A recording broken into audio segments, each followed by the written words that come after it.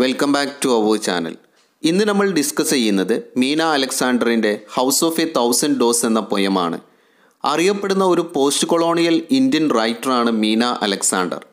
നമ്മുടെ ട്രഡീഷനെക്കുറിച്ചും റൂട്ട്സിനെക്കുറിച്ചും ഒരുപാട് കണ്ടെത്തലുകൾ നടത്തിയ ഒരു പോസ്റ്റ് കൊളോണിയൽ റൈറ്ററാണ് മീന അലക്സാണ്ടർ. ആയിരത്തി തൊള്ളായിരത്തി എഴുപത്തി മൂന്നിൽ റൊമാന്റിക് ലിറ്ററേച്ചറുമായി ബന്ധപ്പെട്ട റിസർച്ചിന് അവർക്ക് നോട്ടിംഗ്ഹാം യൂണിവേഴ്സിറ്റിയിൽ നിന്നും പി എച്ച് ഡി ലഭിച്ചു. ആയിരത്തി തൊള്ളായിരത്തി എഴുപത്തൊൻപതിൽ അമേരിക്കയിലേക്ക് കുടിയേറിയ മീന അലക്സാണ്ടർ ഫോർഡ്ഹാം യൂണിവേഴ്സിറ്റിയിൽ അസോസിയേറ്റ് പ്രൊഫസറായി ജോലി ചെയ്തു. The house of a thousand doors എന്ന ഈ പൊയ്ത്തിൽ തന്റെ നൊസ്റ്റാൾജിക് ഫീലിങ്സ് ആണ് പൊയ്റ്റ് വിവരിക്കുന്നത്.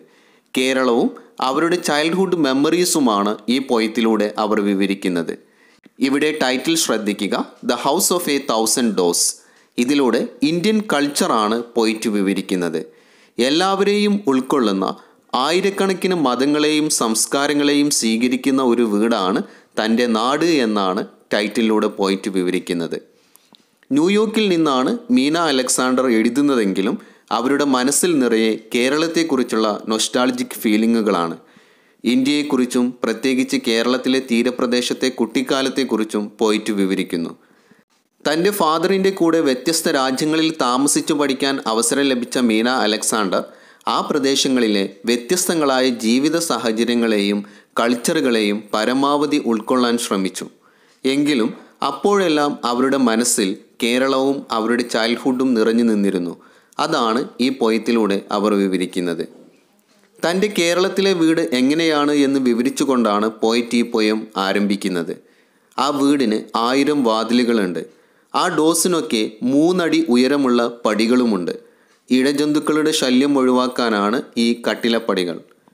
കേരളത്തിലെ ഒരു തീരപ്രദേശത്തുള്ള ആ വീട് അസ്തമയ പ്രകാശത്തിൽ ചുറ്റിലുമുള്ള മുളങ്കൂട്ടങ്ങൾക്കിടയിൽ പ്രകാശിച്ചു നിൽക്കുന്നു എന്നും പോയിട്ട് പറയുന്നു. ഇടിമിന്നലേൽക്കാതിരിക്കാനുള്ള രക്ഷാകവചം ആ വീടിന് മുകളിൽ ഘടിപ്പിച്ചിട്ടുണ്ട്. പിന്നീട് പോയിട്ട് വിവരിക്കുന്നത് കയ്യിൽ ഒരു വിഷറിയുമായി നടക്കുന്ന തന്റെ ഗ്രാൻഡ് മദറിനെ കുറിച്ചാണ്.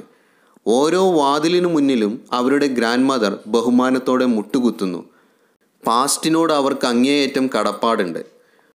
അവർ ഓരോ വാതിലുകളിലും ചെന്ന് ആ വീടിനെ കാക്കുന്ന ദൈവങ്ങളോട് തന്നെ അകത്ത് കടക്കാൻ അനുവദിക്കണമെന്ന് അപേക്ഷിക്കുന്നു.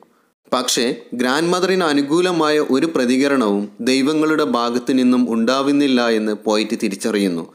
പുരുഷാധിപത്യ സമൂഹത്തിൽ സ്ത്രീകൾ നേരിടേണ്ടി വരുന്ന ഡിസ്ക്രിമിനേഷനാണ് ഇതിലൂടെ പോയിട്ട് വിവരിക്കുന്നത്. ഈ പോയത്തിന് ഒരുപാട് ഇന്നർ മീനിങ്സ് ഉണ്ട്. കേരളം തന്നെയാണ് house of a thousand door ആയിരം വാതിലുകളുള്ള വീടെന്ന് നമുക്ക് കാണാം. കേരളത്തിലെ ഇന്നത്തെ സംസ്കാരത്തിന് ഒരുപാട് വിഭാഗങ്ങൾ സംഭാവന നൽകിയിട്ടുണ്ട്.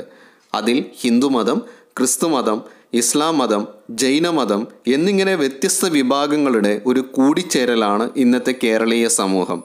അതുകൊണ്ടാണ് കേരളത്തെ house of a thousand door എന്ന് പോയിട്ട് വിവരിക്കുന്നത്. ഇത്രയുമാണ് Meena അലക്സാണ്ടറിന്റെ house of a thousand door എന്ന ഈ പോയത്തിലുള്ളത്.